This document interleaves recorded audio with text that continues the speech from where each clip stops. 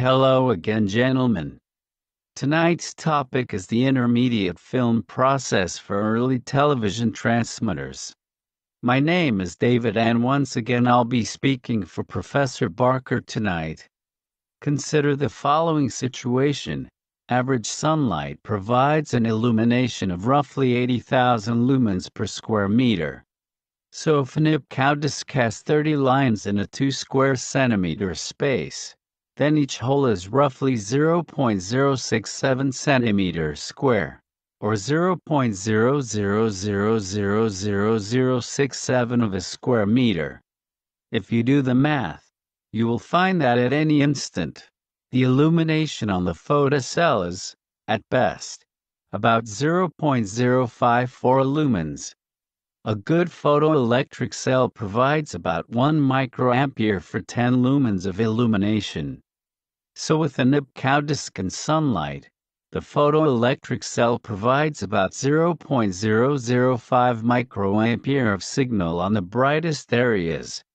Using a load resistor of 100,000 ohms, the video signal will be just 0.5 microvolts, and this is for the brightest areas in bright sunlight.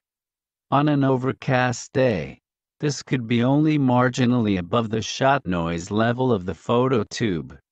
A black and white film, however, will easily be exposed with 10 lumens of illumination. It was her old friend John Logie Baird who first thought of this as a way to get around the low sensitivity of the photocells of the time. In 1925, Herbert Ives, whose photo I have shown here, formally proposed the use of motion picture film as a means of chemical amplification, whereby motion picture film was exposed rapidly processed and fed to a disk scanner with only a few seconds delay. Ives felt this was the most feasible way of increasing the sensitivity of the transmitting end. A similar process was proposed at the receiver for theater use, whereby the received image was to be photographed and developed and projected very quickly. There was also a proposal for recording the sound on the same film to keep it in sync with the picture. This method was later known as the intermediate film process. A second variation was to be used for large screen television. In the following photo, Mr. Baird is standing beside a typical theater television system. Note the 30 inch disc on the right hand side of the equipment. In this method, the transmitted picture was also photographed from the face of the disc by a film camera, quickly processed, and sent to a special film projector, where it was projected onto a large screen by means of the usual arc lamp.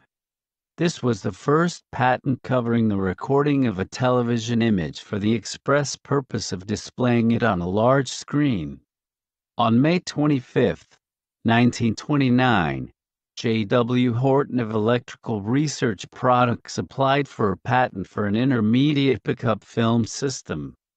Here you see Mr. Horton, on the right of the photo, with another Bell Systems engineer, observing an early TV demonstration in their laboratory. Fernseher AG in Germany was not privy to the Bell patent information. There is no evidence that they were even trying to devise a live camera at this time. They had turned to the use of motion picture film to solve their problems of the live or outdoor pickup for television. They had come to the same conclusion that Dr. Ives of the Bell Telephone Labs had come to in 1925 that is, since the television scanning of film was an accomplished fact, why not use motion picture film as the prime source of television signals? Fernseher had designed and built such a system. It was first described in July 1932 and shown at the Berlin Radio Exhibition in August 1932. The system had a film camera, which had a film magazine.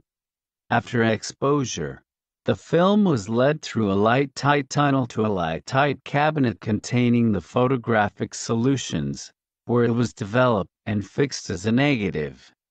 It then passed to the television scanning apparatus, where a photocell behind a scanning disc converted the light from the film into electrical impulses, which went to an amplifier and to the transmitter. It was claimed that the whole photographic process was reduced to some 10 seconds. The equipment used a 90-hole Nipkow disc revolving at 1,500 revolutions per minute. The projector was of the continuous drive type, not intermittent, for two reasons. First, to avoid subjecting the still moist film to violent stresses, and second, to avoid the splattering of the thin layer of water that covered the film. The soundtrack was recorded in the usual manner on the side of the film so that the 10 to 15 second delay was of no consequence. It was planned to make the apparatus portable so that it could be put into a truck. The following photograph shows how the idea of a remote televisor was ultimately realized using the intermediate film process.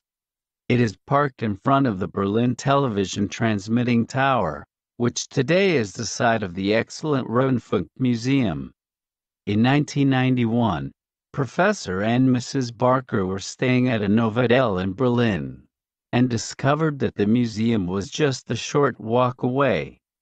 He highly recommends a visit anyone who happens to be in Berlin and who has an interest in old technology.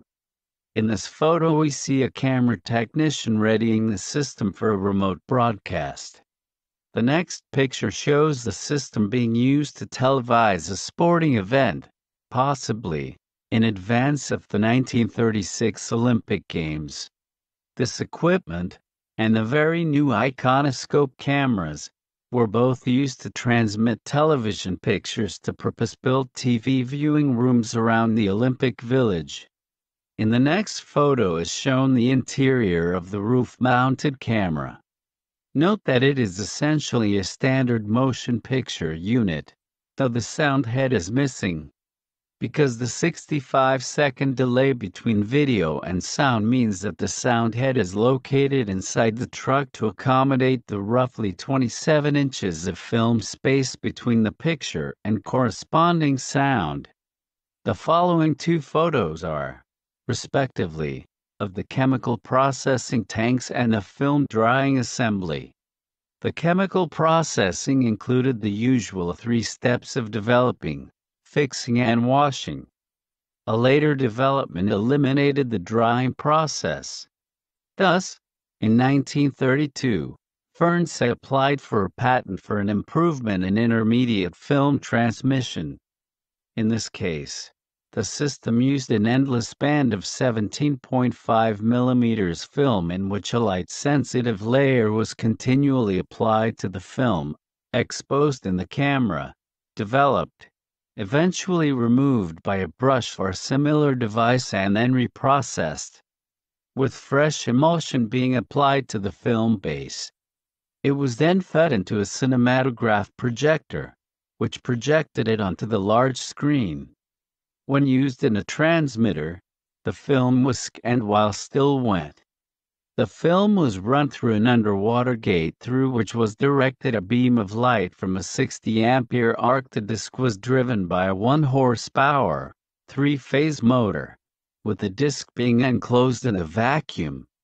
It ran at 6,600 RPM and contained 60 holes arranged on the circumference of a circle. The light from the disk was sent to a photocell of the multiplier type and then passed through a series of amplifiers to the central control room.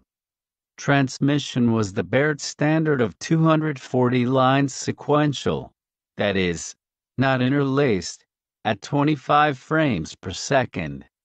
For the last photo of my presentation, I have a picture of one of the television viewing rooms that were set up in the 1936 Olympic Village. Unlike some such rooms, this one uses the intermediate film projector process that I described earlier in my talk. So that's all for tonight, gentlemen. Thanks for listening.